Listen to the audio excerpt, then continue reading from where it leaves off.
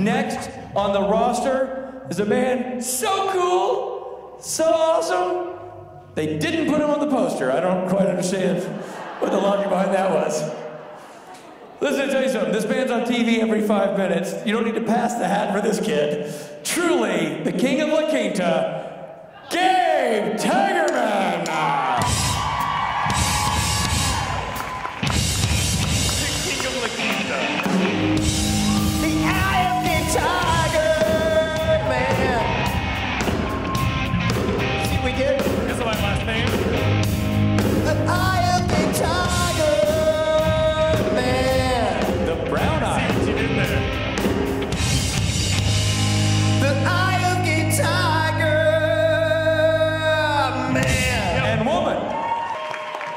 everybody.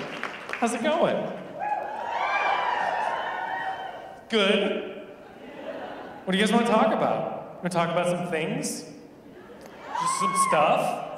See, good. Who wants to talk about something first? Who wants to ask? Who left, right? You. You look like you have a question that you want to ask me. I do. Great. First of all, I want to say I'm so glad you're here. I, every time I watch that episode where that little brat killed Andy Gallagher, I yell at my TV. Oh, she's the worst. Oh my God, she's the worst. Oh. I also think it's very important for you to know that Andy Gallagher lives on in fan fiction. just, just, just let you know. Oh, um, I know.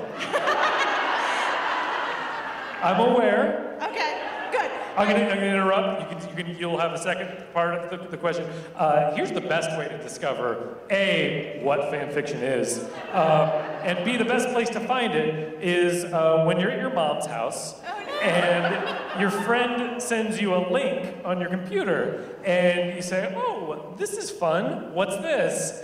And then you make, you read about yourself and you're this guy that you haven't met, Chad Lindberg, uh, and you hear you read a little tale about yourself doing things that you haven't ever tried. Not that there's anything wrong, but you just hadn't explored that side of yourself. And you you have a reaction. You have a reaction. It's not a judgment. You just have a reaction. You make a sound, and it sounds a little bit like this: "Gah!" And then when you make that sound at your mom's house, your mom says, Oh, what is it, honey? And that's when you throw your laptop on the ground and you light it on fire. So there's no accidental reading of the beautiful shared moment that Chad and I had. Okay, actually do have a legitimate question that doesn't have anything to do with that. I just wanted to throw that out there because I have no Good. shame. Good. Apparently, neither do I. So my actual question is, what scene is the, was the most fun for you to film? Oh, that's a good question. Um, the well, I'll, I almost broke uh, in. I think it was actually the first scene that we shot was when. Uh, oh no, no, it was the second scene we shot uh, where Dean can't stop telling the truth. Uh, he, I didn't know that he was funny. Uh, like we just met, and I was like, I was like, oh, this is a handsome dude, uh, and uh, I'm sure he's just handsome all the time. That's all he does. He was so funny.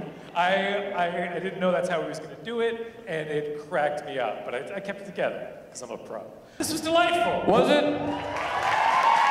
If I do say, it felt delightful to me. Was it La Quinta-rific? It was.